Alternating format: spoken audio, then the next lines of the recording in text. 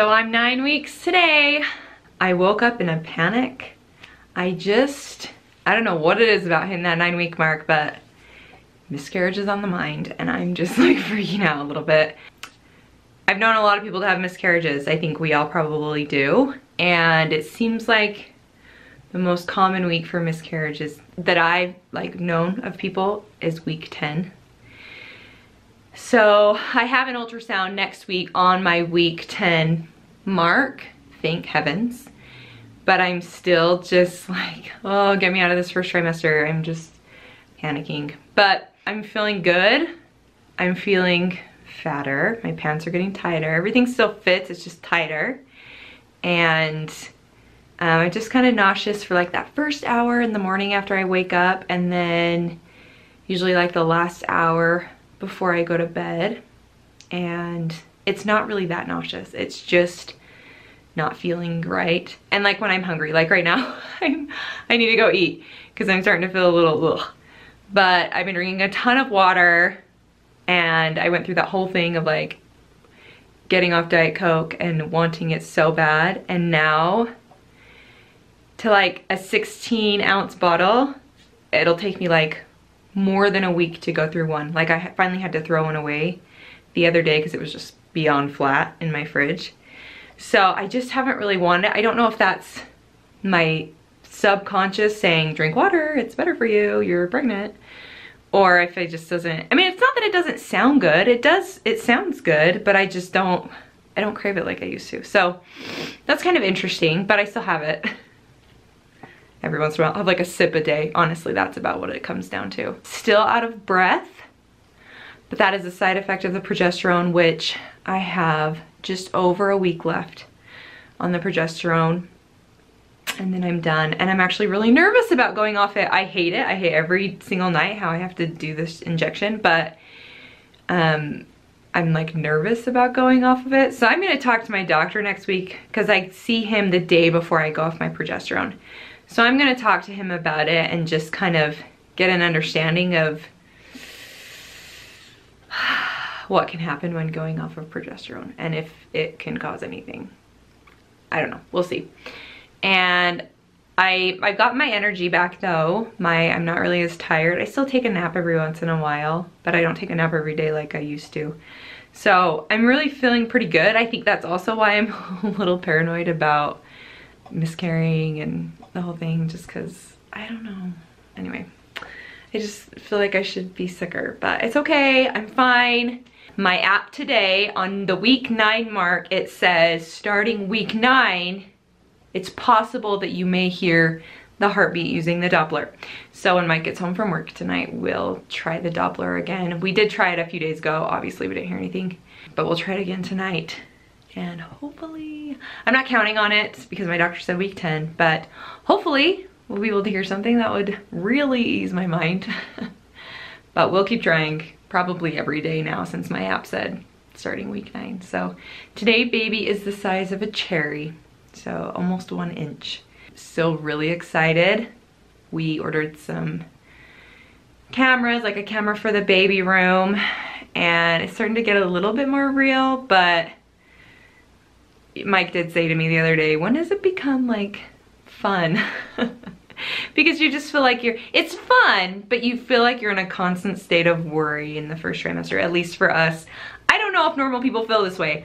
I don't know if it's just because we've it's taken us so long to get to this point, but I we're just kind of in a constant state of like panic. But we're still enjoying it. We're still having a good time. There's still like a few friends that I've been telling here and there. I'm I have a friend coming in out of town next week and I'm excited to tell her. So it's fun. We're having a good time and it's still exciting and hopefully we can just push the worry to the back of our mind there's no reason to worry until there's a reason to worry, and we have no reason to worry right now, so we're okay. Okay, let's do it. Okay. Got to. Okay. Should, I, should I put it on this? Yeah, sure. Just follow the directions. This thing. That would be helpful. Yeah. Woo! It's cold. Okay. You're on one?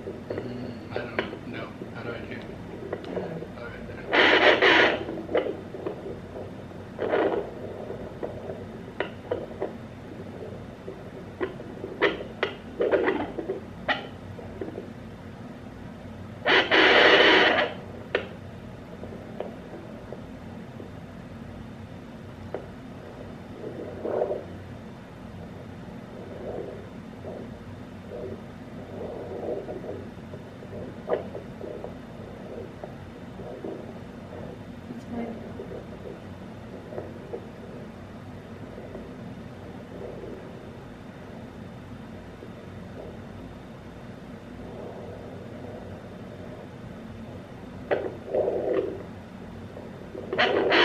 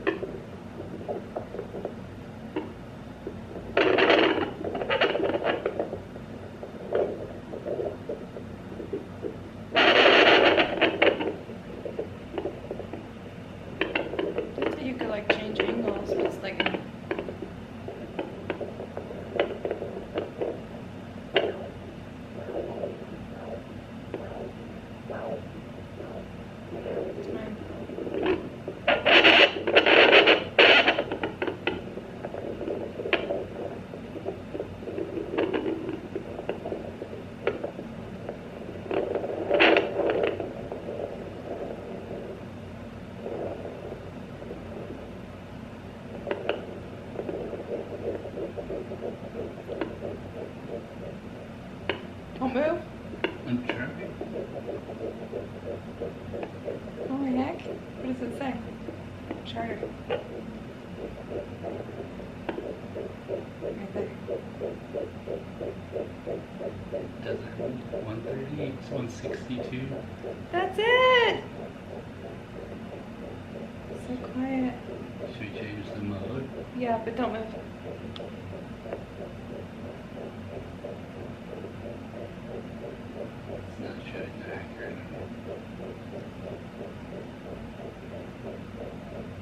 Oh my heck. Should we mark it with a sharpie? Doesn't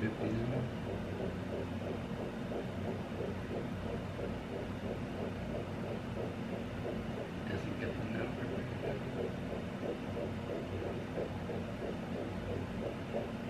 time and count. Okay, don't move.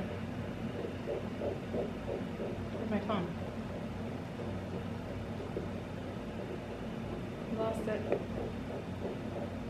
Okay, ready? Mhm. What are you supposed to do for 20 seconds?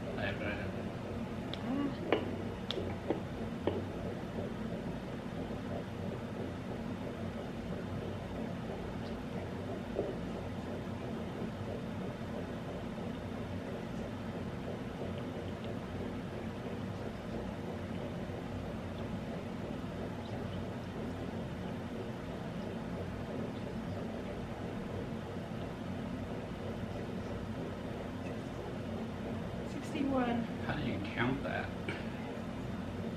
61 times 3, that's 180. I 164, 169. We good? I can't. Like, I'm too. I know, but you can't. Yes, I can. Other than it's not really comfortable. Doesn't it hurt or something after I don't know.